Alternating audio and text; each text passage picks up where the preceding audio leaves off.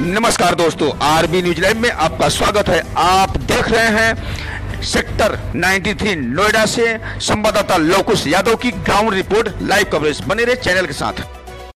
नमस्कार, आप देख रहे हैं आरबी लाइव न्यूज़ और मैं हूँ आपके साथ प्रीति वर्मा। आइए शुरुआत करते हैं आज की खास खबरों के साथ। अगर आपने हमारे चैनल को सब्सक्राइब नहीं किया है तो पहले आप हमारे चैनल को सब्सक्राइब करें, लाइक करें और शेयर करें।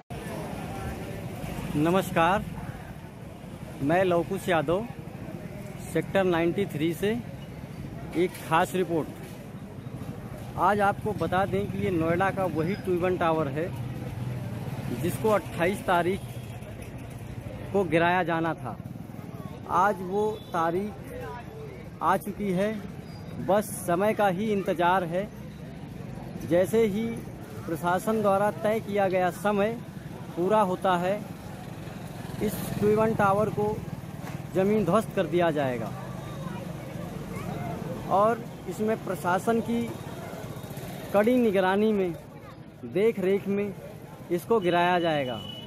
आप देख सकते हैं कि ये नोएडा पुलिस के आला अधिकारी मौके पर मौजूद हैं और चारों तरफ़ बैरिकेटिंग की गई है, जिससे कोई अनहोनी ना हो सके।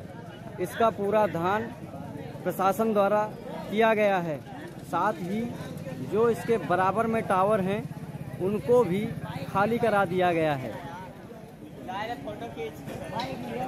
हम आपको दिखाना चाहते हैं ये एक्सक्लूसिव तस्वीरें सेक्टर 93 से। टूबन टावर जो आज नोएडा में इसको ढाई बजे का समय बताया जा रहा है। इसको ढाई बजे ही ज़मीन ध्वस्त कर दिया जाएगा। यहाँ शासन की पूरी मुस्तैदी है। प्रशासन कोई भी चूक नहीं करना चाहता है। आपको दिखाना चाहते हैं, कुछ तस्वीरें और भी दिखाना चाहेंगे आपको हम। यहाँ काफ़ी लोग भी मौजूद हैं, हमारे मीडिया साथी भी मौजूद हैं। ये वही सेक्टर 93 है। जहाँ पे सेक्टर 93 पे टूबन टावर मौजूद है और आज इसको जमी ध्वस्त किया जाना है। ये ट्वेबन टावर। इसमें पूरी तैयारी हो चुकी है।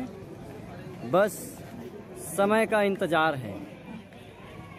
मैं लवकुश यादव, सेक्टर 93 से एक खास रिपोर्ट।